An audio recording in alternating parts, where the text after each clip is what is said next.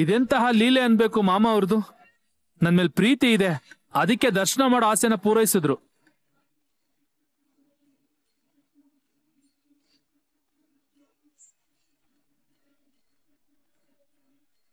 ಟ್ರ ಟ್ರ ಟ್ರ.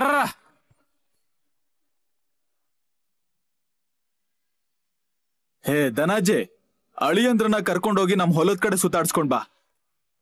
ಹೋಗ್ಬಿಟ್ ಬನ್ನಿ ಅಳಿಯಂದ್ರೆ. ನಿಮ್ಗೂ ಸ್ವಲ್ಪ ಬೇಜಾರ್ ಕಳಿಯತ್ತೆ.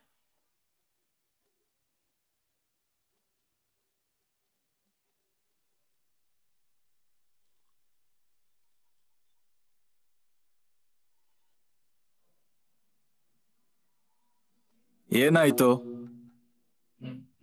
ಯಾಕೇನಾಯ್ತು? ಇಲ್ಲ. ನೀವೆಲ್ರೂ ಮೌನವಾಗಿದ್ದೀರಲ್ಲ? ಅಪ್ಪ ನಿಮ್ ಹತ್ರ ಮಾತಾಡ್ಬೇಕು. ಹಾ ಮಾತಾಡು. ಅದ್ರಲ್ಲೇನು?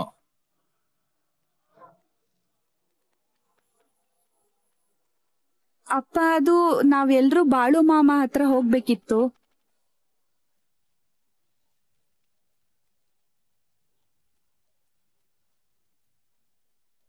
ಏನೋ? ಹೌದು. ನೀವು ಬನ್ನಿ ನಮ್ ಜೊತೆ.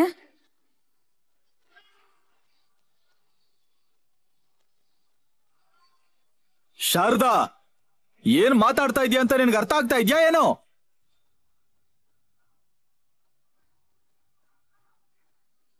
ಅಪ್ಪ ನಮ್ಮೆಲ್ರಿಗೂ ಮಾಮ ಅವ್ರ ಜಾಗಕ್ಕೆ ಹೋಗೋ ಆಸೆ ಇದೆ.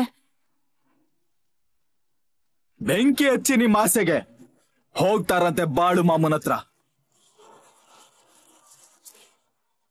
ನನಗೇನ್ ಹುಚ್ಚು ಅಂದ್ಕೊಂಡಿದ್ದೀರಾ? ನಿಮ್ಮನ್ನ ಅಲ್ಲಿಗೆ ಹೋಗೋದಕ್ ಬಿಡಕ್ಕೆ. ಜೊತೆಗ್ ನಾನು ಬರೋದಕ್ಕೆ.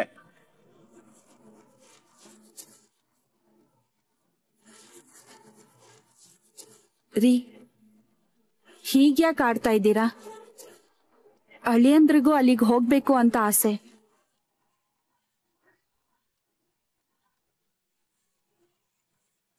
ಏನು? ಏನ್ ಅಳಿ ಅಂದ್ರೆ ಏನ್ ಕೇಳ್ತಾ ಇದ್ದೀನಿ ನಾನು? ಅದು ನಿಜ ಮಾವ. ಹೇಗೋ ಬಂದಿದ್ದೀನಿ ಇಲ್ಲಿಗೆ. ಅದಕ್ಕೆ ಅವ್ರ ದರ್ಶನ ಮಾಡೋಣ ಅಂತಿದ್ದೀನಿ. ಅಯ್ಯೋ ಯಾರ್ ಬಿಟ್ಟಿದ್ದು ನಿಮ್ ತಲೆಯಲ್ಲಿ ಈ ಹುಳನ ಹಾ? ಯಾರ್ ಬಿಟ್ಟಿದ್ದು?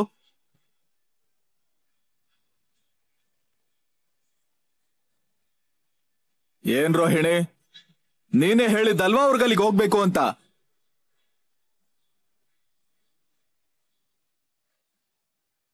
ನಿನ್ ನಾಲ್ಗೆ ಕಿತ್ ಕೈ ಕೊಡ್ಬೇಕು ನೋಡು.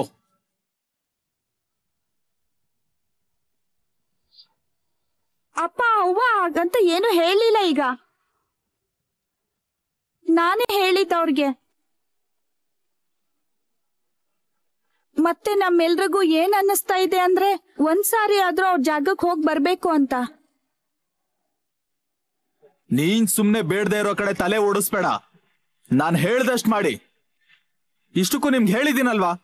ಆ ಅಕ್ಕ ಎಲ್ಲ ಸರಿ ಹೋಗಿಸ್ತಾರೆ ಅಂತ. ಅಂದ್ಮೇಲೆ ಒಂದ್ ಸ್ವಲ್ಪ ದಿನ ಸಮಾಧಾನವಾಗಿರಿ. ಒಂದ್ ವೇಳೆ ಅವಳಿಗೆ ಏನೂ ಆಗಿಲ್ಲ ಅಂದ್ರೆ?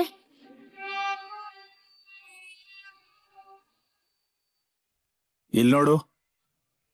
ನನ್ ತಂಟೆಗ್ ಬರೋಕ್ ಹೋಗ್ಬೇಡ. ಇವತ್ ಪರಿಸ್ಥಿತಿ ನೋಡ್ಕೊಂಡು ನಾನು ಸುಮ್ನೆ ಇದ್ದೀನಿ. ಯೋಚನೆ ಮಾಡಿ ಮಾತಾಡು ಅದೇನಿದ್ರು. ಅಪ್ಪ ಭಾವನ ಆಸೆ ಅಂದ್ಮೇಲೆ ಎಲ್ರು ಹೋಗ್ಬಿಟ್ ಬರೋಣ. ಈಗ ನೀನ್ ನನ್ನ ಕಲಿಸ್ತೀಯಾ? ನಾನ್ ಏನು ಮಾಡ್ಬೇಕು ಏನು ಮಾಡಬಾರ್ದು ಅಂತ? ಹಾ?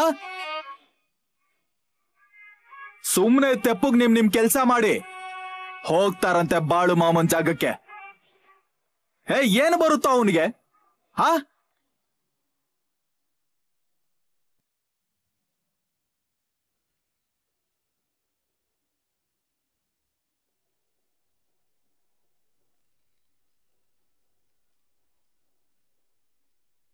ಧನಾಜಿ ತೆಂಗಿನಕಾಯಿ ತಗೊಂಡು ಬಾರೋ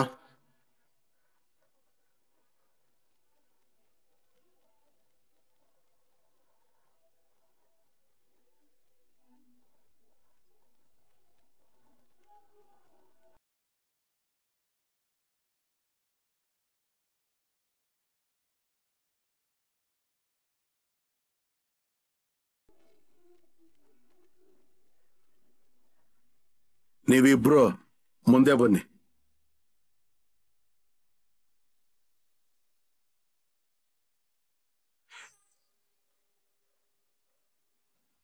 ಮಗಳೇ, ಈ ತೆಂಗಿನಕಾಯಿ ಮನೆಗೆ ತಗೊಂಡು ಹೋಗು, ಪೂಜೆ ಮಾಡೋದಕ್ಕೆ ನಿಮಗೆ ಮೂರು ಗರ್ಭ ಆಗುತ್ತೆ, ನಂತರ ನಾಲ್ಕನೇದು ಮಗು ಆಗುತ್ತೆ.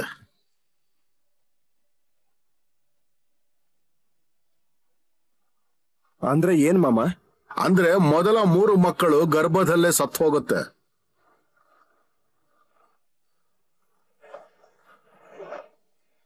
ನಂತರ ನಾಲ್ಕನೇದು ಗಂಡು ಮಗು ಆಗುತ್ತೆ.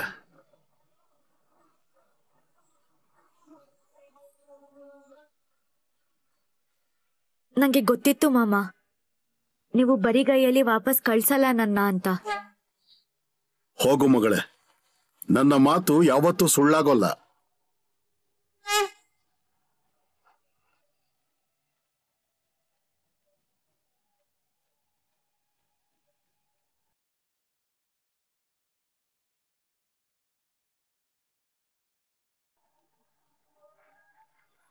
ಅಳಿ ಅಂದ್ರೆ, ಮತ್ತೆ ನೀನು ಮಗಳೇ, ಮುಂದಿನ ಹುಣ್ಣಿಮೆಯ ದಿನ ನನ್ನ ಹತ್ರ ಬನ್ನಿ. ನಿಮ್ಮ ಕೆಲಸ ಕೂಡ ಮಾಡಿಕೊಡ್ತೀನಿ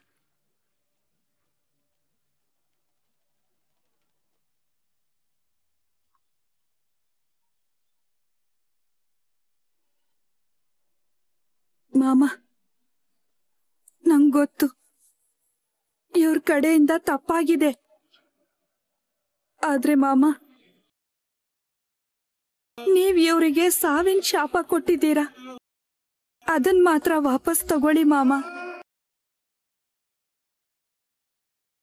ನಾನು, ನಾನ್ ನಿಮ್ ಕಾಲಿಗೆ ಬೀಳ್ತೀನಿ.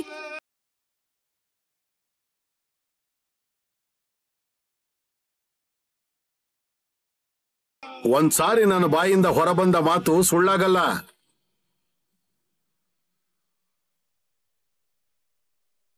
ಇಷ್ಟಕ್ಕೂ ಪಾಟೀಲರ ಪತ್ನಿ ನಿಮಗಂತೂ ಎಲ್ಲ ತಿಳಿದೇ ಇದೆ.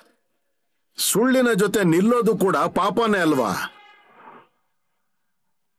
ಅಯ್ಯೋ, ಇಡೀ ಮಹಾಭಾರತ ಇದರಿಂದಾನೇ ಆಗಿತ್ತು ಅಲ್ವಾ?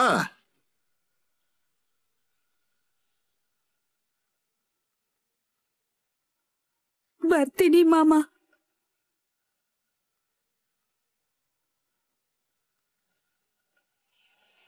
ಧನಾಜಿ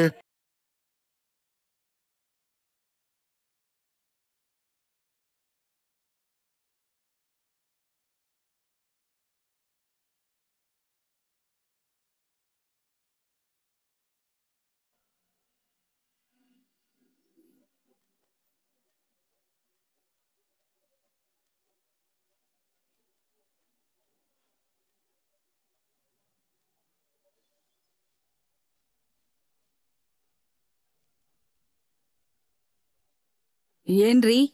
ಇಷ್ಟೊಂದು ಮೈ ಸುಡೋ ತರ ಕೋಪ ಬರೋ ಅಂತದೇನಾಯ್ತು ಈಗ ನಾವು ಸೇಡ್ ತೀರಿಸ್ಕೋಬೇಕು. ಏನು? ಹೌದು. ಇವತ್ತಿನ ತನಕ ನೀನ್ ಏನೆಲ್ಲ ಕಲ್ತಿದ್ಯೋ ಅದನ್ನೆಲ್ಲ ಒಟ್ಟಿಗೆ ಪಣಕ್ ಹಾಕು. ಕೆಲ್ಸ ಮಾಡ್ತೀನಿ ನಾನು ಆದ್ರೆ ಇಷ್ಟೊಂದು ಜಗಳ ಯಾರ್ ಜೊತೆ ಆಯ್ತು?